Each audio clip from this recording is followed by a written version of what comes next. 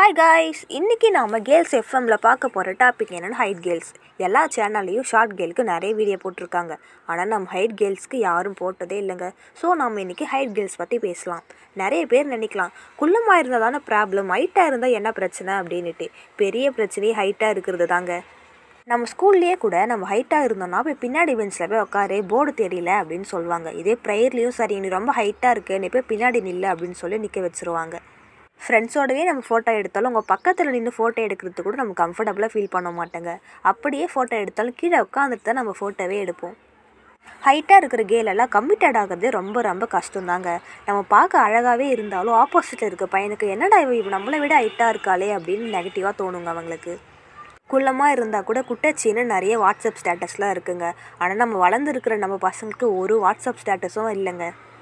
Mostly நம்ம ஃப்ரெண்ட்ஸோடு வெளியில் போனாலும் டிஸ்டன்ஸ் மெயின்டைன் பண்ணி தாங்க நடப்போமே. ஏன்னா நம்ம ரொம்ப ஹைட்டாக தெரியக்கூடாதுன்றனால. சரி ஓகே நம்மனால தான் கம்மிட்டட் ஆக முடியல. அப்பா அம்மா பார்க்குற பையனாச்சு பார்த்து பண்ணிக்கலாம்னு தோணுங்க. அப்படியே அது கல்யாணம் வரைக்கும் போனாலும் கல்யாணத்தில் ஃபோட்டோ எடுக்கும்போது நாங்கள் ஒரு பாடு பாடுவோம் பாருங்க. பையன் என்னை விட ஹைட்டாக தெரிய என்னென்னமோ பண்ணுவாங்க. பாவங்க ஃபோட்டோகிராஃபி உண்மையிலே. அப்படியே கல்யாணம் ஆகிட்டு நம்ம பார்ட்னரோடு வெளியில் போகிறோம் அப்படின்னா உண்மையிலேயே நான் ரொம்ப அசிங்கப்படுவோங்க.